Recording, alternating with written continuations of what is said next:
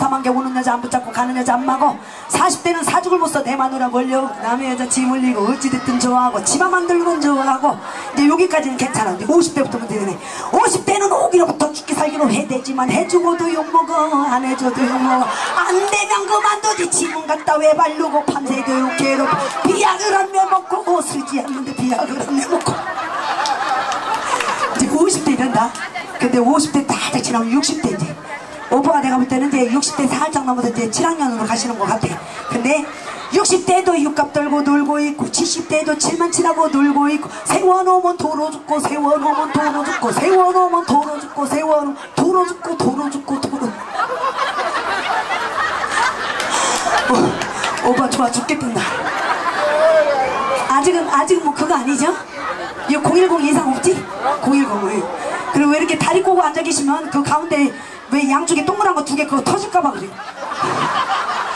그것도 그렇지만 햇볕도 못 보시 그분들은 햇볕도 못 보는데 맨날 이러고 있으면 얼마나 힘드냐 안에서 내가 볼 때 이러고 있어. 다리 쪼그리고 있으면 됐으면 편하게 다리 꼬지 말고. 참, 이 오빠 봐 얼마나 보기 좋냐.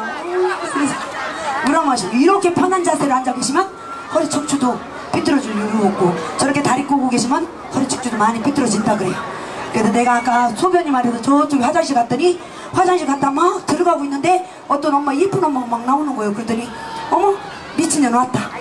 나 그래가지고 너무너무 힘들었어요. 오줌 싸면서 내가 미친년인가? 왜 미친년이지? 왜 나보고 미친년이라고 하는 거지? 뭐지? 잽싸게 누구다가 쫓아갔지? 그때 이 엄마가 여기 와 있더라고. 그랬더니 저기 어머니 죄송한데요. 제가 왜 미친년입니까? 딱 물어봤더니 그 엄마가 하는 얘기가 어머나 영심이가 오해했구나. 내가 말한 미친년은 아름다움이 지날친 계집녀에서 아름답고 예쁘단 얘기했어. 박수 한번 줘 이럴 때 박수. 지랄고 공연들을 안 봤어. 공연들을 봤어요.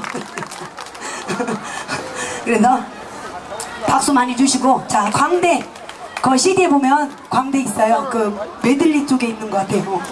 그 광대 하나 주세요.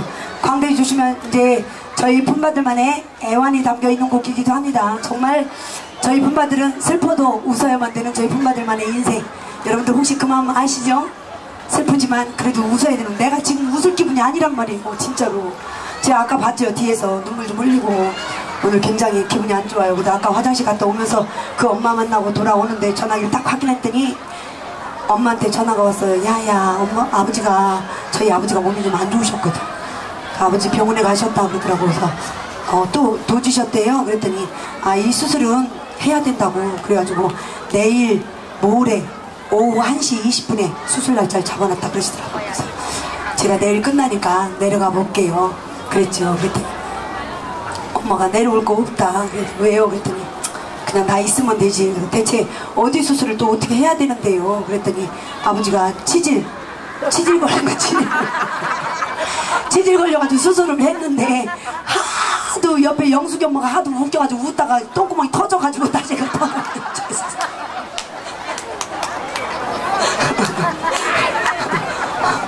아니 똥구멍이 터지면 그거 큰일 나는 거 아니에요? 다시 해야 되지. 그거 수술 어쨌거나 수술하시면 나 여기서 돈 벌어갖고 내려가야 돼. 아버지 수술비 대줘야지 그치요? 왜냐면 내가 내 부모한테 최선을 다해서 효를 다하면 내가 나중에 결혼해서 이쁜 아가 나왔을 때 그 아가가 나한테 효도를 할 거 아니에요. 그치요? 그를 효어친이면 자유교제 하나니 신기부려면 자하효원이리요. 내가 내 부모한테 최선을 다했을 때 내 새끼가 나한테 본받을 것이고 내가 내 부모한테 불효를 저질렀을 때 그 새끼가 나한테 불효를 할 것이에요. 옛날에 그거 아주 고려장 아주 고려장. 그죠? 고려장 아들이 하도 먹고 살기 힘들고 엄마는 오래 사니까 그냥 엄마 지게다 넣어가지고 고려장 하러 갔는데 거기에 아들이 지게 어, 아버지 손 잡고 쪼래쪼래 따라갔다가 할머니 딱 이제 고려장을 모셔드리고 아버지가 지게를 딱 버리고 올라니까 아들이 저 지게 가지고 와야 된다고 이거 왜요? 왜 가지고 와야 된다 그랬더니 나중에 아버지 고려장할 때 이거 써야 되니까 가지고 와야 돼 그래서 엄마 다시 모시고 내왔잖아 응. 이게 산교육이 별거 없어요 내가 내가 잘하면 우리 아이들도 분명 잘할 거예요. 아이들한테 잘하기만 바라면 안 돼. 그치요? 내 말이 맞죠? 이렇게 좋은 말 하면 박수 줘 지라고 박수 계속 주라고 계속. 뭐 대학 교수들이 이런 걸 가르쳐 주냐 상탁 하부청 우물이 말고 말하면 자동으로 맑아요. 어. 일체 뭐라 그러세요? 부처님 뭐라 그러세요? 일체 유심조. 모든 세상은 내가 맘먹기 달려있어요. 여러분들이 즐겁다고 맘먹으면 행복하고 즐거운 거예요. 내 마음이 즐겁지 않다고 생각하면 절대로 내가 여기서 어, 씻고 닦고 들어갈까? 씻고 닦고 씻고 닦고 벌려줘라. 들어간다. 이렇게 해도 즐겁지가 않아요. 여러분들 마음이 즐겁다고 생각하고 마음의 문을 활짝 열고 그냥 뭐 하나 팔면 팔아줘. 왜냐면 삶이 알려주는 지혜도 있어요.